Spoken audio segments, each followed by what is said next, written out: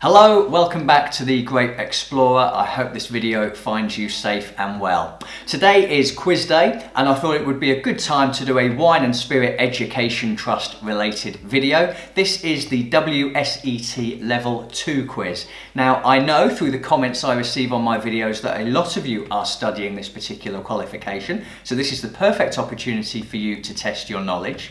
But it's also a good opportunity for those of you who may have taken it in the past just to see if what you learn has managed to stay in your head. If you're new to the channel, welcome. I'm the Grape Explorer. I bring wine education, product reviews, and lots of tastings. So if you're thinking about studying wine or you're in the process of studying wine, this is the ideal channel for you, so consider subscribing. Okay, let's jump straight into question one. As always, 10 questions, all multiple choice. Let's get started.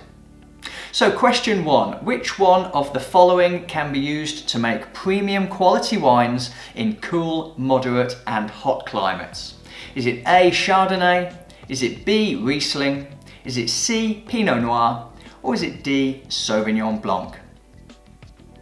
The WSET workbook is very much based around the grape varieties at level two. So you will co actually cover all of these grape varieties. They're considered the key varieties at this level. And when you start to go through the book, you get a breakdown about where these grapes are grown, as well as an indication of what the climate is like. And only one of these uh, suggests premium wine in cool, moderate and hot climates. So if you've gone for Chardonnay A, that's a good start, well done. Question two is about one of the most popularly grown grapes around the world. Premium wines made from Cabernet Sauvignon age well because they have what? Is it A, high tannin and low acidity, B, low tannin and high acidity, C, low tannin and low acidity, or D, high tannin and high acidity?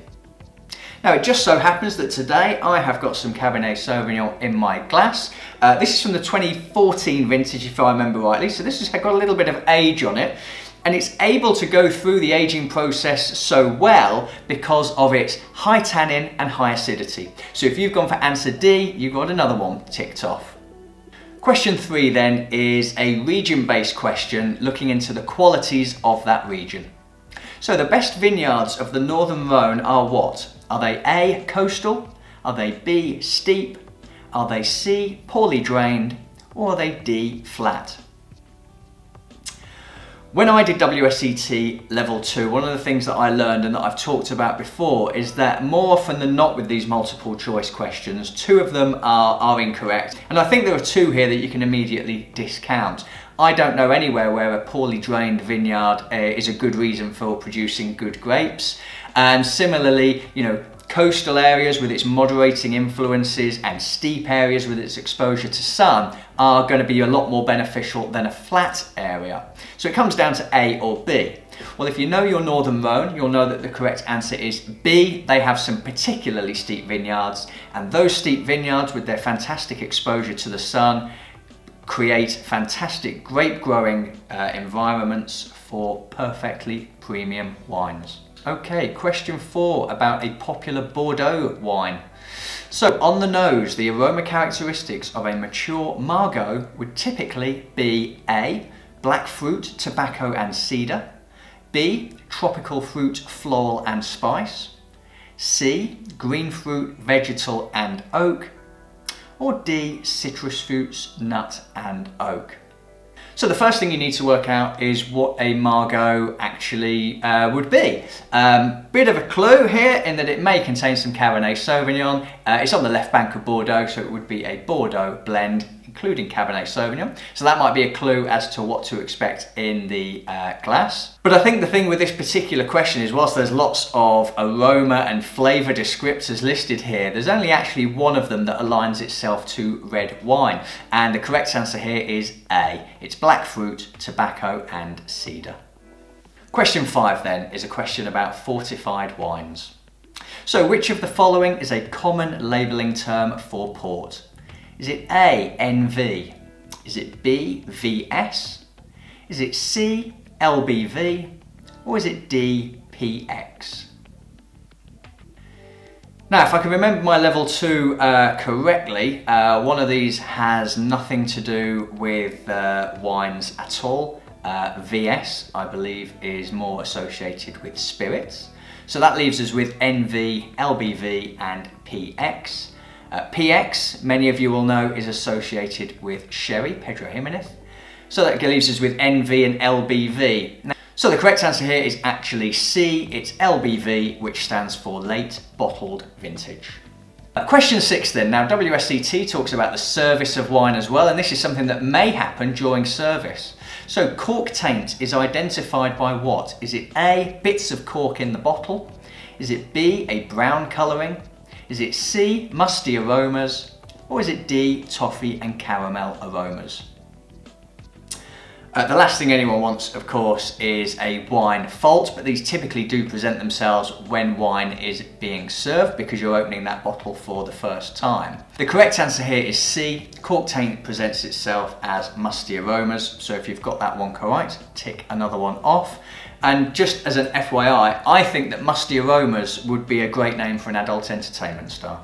Moving on to question number seven now, which asks that you pair a region with a grape. So which grape variety is used to make Meursault? Is it A, Chardonnay? Is it B, Cabernet Sauvignon? Is it C, Sauvignon Blanc? Or is it D, Syrah? Now again, what you need to be able to do with this question is work out where in the world Meursault is, because that potentially is going to give you a clue to the grape varieties that are used in that region that's something that level two does a really good job of. Like I say, it's, it's led by great variety, but then it starts to talk about the countries around the world that would grow that variety and the regions where that takes place. Meursault, of course, can be found in Burgundy, which really only leads to one answer once you know that, and that is A, Chardonnay. Question number eight puts your Italian wine knowledge to the test. What term is used on an Italian wine label to indicate that the grapes were grown in the historic centre of the district? Is it A. Crianza? Is it B. Riserva? Is it C. Classico? Or is it D. Cortese? Uh, interesting question in that the answers are quite interesting here. Uh, many of you will know, of course, that Crianza is a Spanish labelling term. Um, you, many of you will also know that Cortese is a grape variety. So really it comes down to whether it's Reserva or Classico. Uh, the correct answer here is C, it's Classico. That's the name for an indication that the grapes were grown in the historic centre. Okay, on to question nine, and I think just showing how broad the subject is at WSET, how much you do need to learn. Uh, this is another region and grape variety question. So premium Chilean Sauvignon Blanc is produced in which of the following regions? Is it A, Catalunya? Is it B, Central Otago? Is it C, Carneros? Or is it D, Casablanca? For me, the challenge with this one is the way that they've worded the answers. They all begin with the letter C, which might throw some people off the scent in terms of trying to identify a region. So then it comes down to deducting, well, where do these particular regions belong? Catalonia belongs in Spain. Central Otago belongs in New Zealand. And I think those two would probably be discounted first, leading you to Carneros and Casablanca. Um, Carneros is actually in California, so the correct answer here is D, it's Casablanca. And finally, question 10. Uh, we started on a question about Chardonnay, if I can remember 10 minutes back. Uh, we're going to end on Chardonnay as well. Which of the following are commonly used to add complexity to premium dry Chardonnay wines? Is it one, flor yeast? Is it two, botrytis? Is it three, lees stirring?